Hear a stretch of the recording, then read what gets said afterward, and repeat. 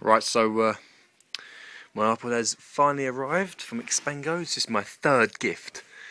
Um, took me took me a few months or so, depending on how uh, determined I was to get it. But it's arrived.